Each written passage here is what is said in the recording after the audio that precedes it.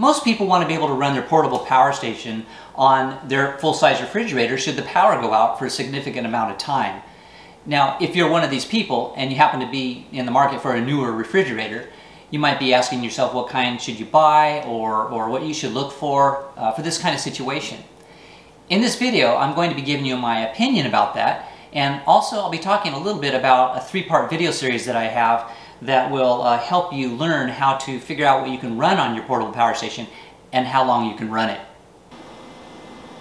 In my opinion, the best refrigerator to buy in this kind of situation would be one that has an inverter compressor because it's more efficient than a standard compressor and there are no surge watts. There are no surge watts because it never turns off. The inverter is always on. It's like a gas pedal. When it doesn't need to cool, it throttles down, low wattage draw. When it needs to cool, it throttles up just to the level it needs to in order to cool. It's more efficient.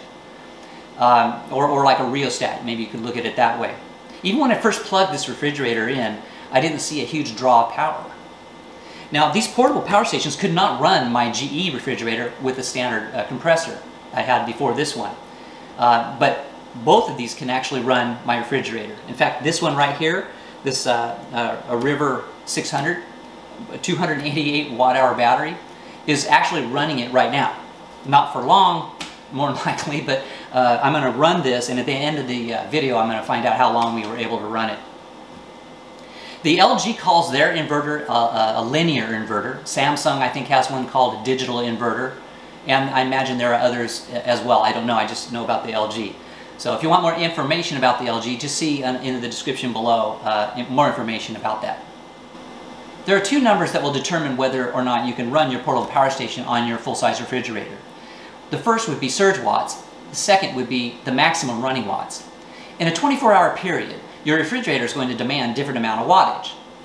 You just want to know what's the maximum wattage it demands at any given point because it has to be within the range of um, your continuous watts on your portable power station. I tested this one. It turned out it was 383 watts, and that's when uh, it was on defrost. LG says it will defrost uh, between two and three times, 20 to 60 minutes, uh, you know, in a 24-hour period. The label says inside this refrigerator 355 watts, but I measured 383. And this happened before with another refrigerator I had. So the actual running watts, maximum watts, was greater than the label. So if, if you're shopping for one, I would add 50 to 100 more watts on top of whatever the label says as some cushion. Also, multiply the amps and volts. And if that number is higher, then use that one. So let's go ahead and take a look at the label in this refrigerator. You can see the defrost watts, 355.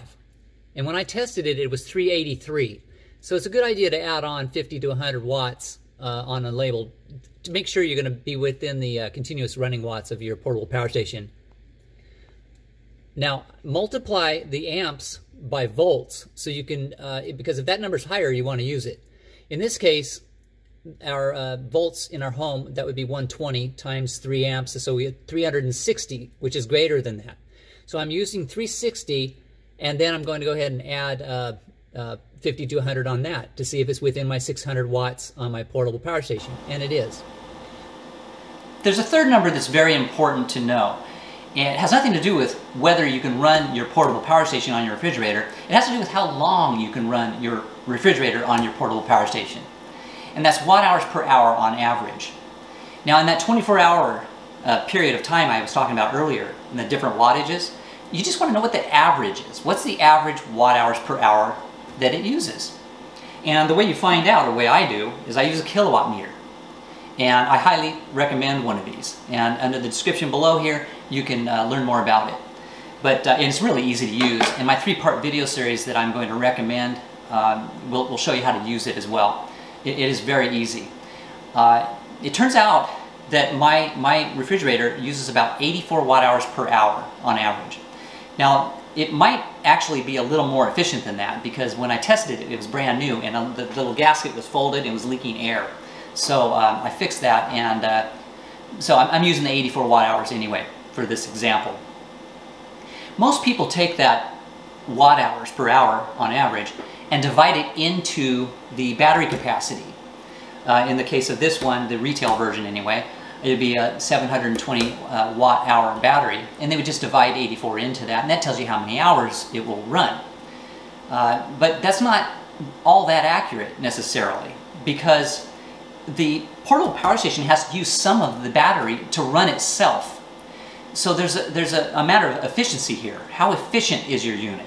So that's something you might want to do. If you have a portable power station, research what is the efficiency. It's called inverter efficiency or battery efficiency uh, or, or, or, whatever. You want to know how many watt hours do you get to use. That's what matters. So uh, let me show you an example. This is my EcoFlow Delta 1300. It has a battery capacity of 1260 watt hours. If I were to divide 1260 by the 84 watt hours per hour on average my refrigerator uses, I would assume that I had 15 hours of runtime. But that's not true because this is 80% efficient. I've tested it. So I multiply 80% or 0.80 times the capacity, which is 1260. And I learned that I only have about thousand usable watt hours available. So when I divide 1,000 divided by 84, I find out I really only have about 12 hours of runtime. So it makes a difference. So two things. You want to know watt hours per hour on average, but it's also good to know the efficiency of your unit. Now I have a, a video right here that shows you how to test your own, uh, or you, if you want to learn more about this in detail, uh, go ahead and, and, and check out under the description below the three-part video series I have. The retail version of this unit is called the EcoFlow River Pro. It'll say River Portable Power Station EcoFlow Pro. And the battery capacity of the retail version is 720 watt hours. When you do the math and, and consider the 80% efficiency on this, uh, you get about seven hours runtime if I'm just running my refrigerator. The extra battery you can get with this, it would extend that to 14 hours. And with solar panels, you can run this all day if it's sunny out, and then you have 14 hours at night. This is my EcoFlow River. It has a battery capacity of 288 watt hours. 230 watt hours usable.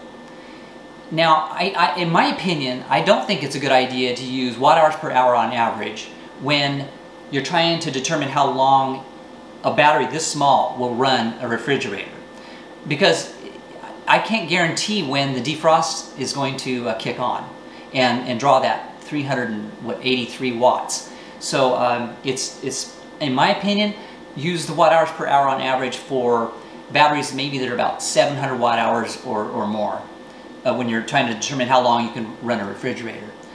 And the, the next best thing to do is what I'm doing right now. I'm just running it and see how long it lasts. But uh, if, if it, whatever it, it, it, turns out to be at the end of this video, we'll find out. Um, if I did that again, it may not be the same because I don't know if it's going to, with the when the refrigerator will run those defrost watts. Now LG says they do it every, or when you first plug it in, it'll be six to eight hours. But I, I plugged it in after it had been running though uh, already, and it kicked on in an hour and a half. So uh, it's unpredictable is, is, uh, is all I can say if you're using a smaller battery. If you really, if you can't afford anything more, then try running it maybe a few times until the battery goes almost uh, dead. If it's if it's safe for your unit to do that, you want to find out, and uh, and see see if it's pretty consistent. But otherwise, um, stick with using watt hours per hour on average for a larger batteries. I would say 700 watt hours or, or greater. Well, I've been running my EcoFlow River for exactly one hour. The uh, defrost watts kicked on, 383 watts in 30 minutes, right after I plug the, this in. So um, that's why it's not a good idea to use watt hours per hour on average when you're determining whether or not you can run your portable power station on your refrigerator with a small battery. It's just not practical for that. Uh, where we have like, what, 1% left. So it's about to kick off. I, I need to plug this into the wall now. Now, if you're not already in the market for a, a, a new full-size refrigerator, I'm not suggesting you run out and buy a new one uh, for your portable power station. You might just consider buying maybe a, a DC-powered refrigerator, a small one, or just a smaller, more efficient refrigerator, um, so that if the power goes out, you can just transfer your food to that. LG had some problems with their linear inverter compressor uh, a while back, and there were some lawsuits. And I read through those, and I read reviews, and I um, I'm confident that things have been resolved and, uh, and I'm happy with what I bought. So, but I wanted you to be aware of that so you can do your own research as well. I don't know what kind of system you have, portable power station. I don't know if it would work on a refrigerator.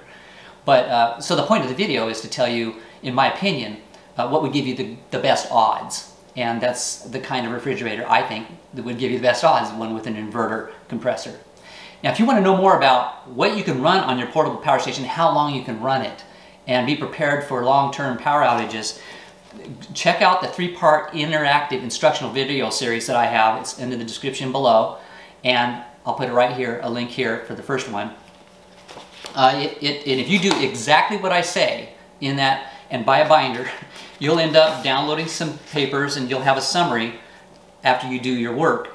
Uh, with all of your appliances, uh, with the watt draw, the, the uh, watt hours per hour on average, I'll show you how to do all of this. So if the power goes out, you'll have everything at your fingertips. You'll know exactly what you can run, how long you can run it, what combinations of things you can run. I have uh, you know, uh, diagrams for you for solar panels to download. Uh, there'll be tests, questions, you, you name it. It's, a, it's, an instructional series. protocol on power outage you can download. So check that series out. If this video has been helpful and, uh, and useful, and you think others might uh, uh, benefit from this, please share it, like it, and don't forget to subscribe. Thanks for watching and have a great day.